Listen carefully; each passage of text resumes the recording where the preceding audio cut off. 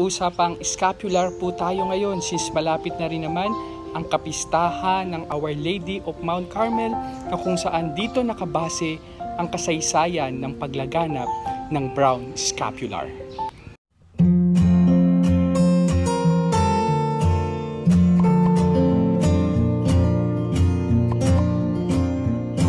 Welcome to another edition of KYCF, Know Your Catholic Faith with Rev. Ice Bumatay.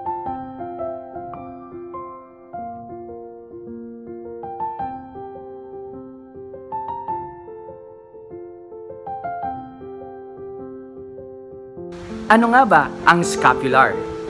Etymologically speaking kasi, ang scapular ay galing sa salitang Latin na scapula nang ibig sabihin ay balikat.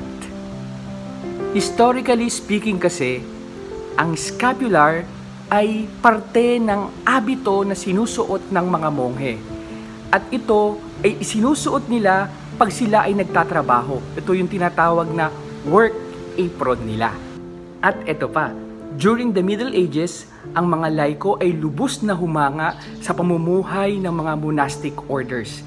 Ang ginawa nila ay nagtayo sila ng confraternities na kung saan sila ay pinagkakalooban ng mga scapular at naisusuot nila ito tuwing may mahalagang okasyon at sa kanilang lamay bilang pagkilala na sila ay miyembro ng organisasyon.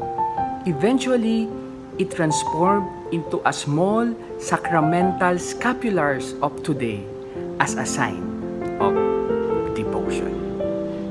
Isa sa popular na debosyon sa scapularyo ay ang brown scapular na nagsimula nung nagpakita si Santa Maria sa titulong Our Lady of Mount Carmel kay Saint Simon Stock.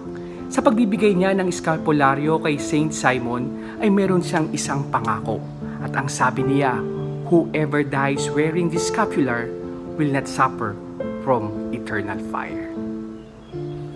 Oops, tandaan natin, ang eskapularyo ay hindi ito anting-anting. Ito ay kabilang sa mga sacramentals na tinatawag natin na kung saan ito ay magiging mabisa lamang kung tayo ay nasa state of grace.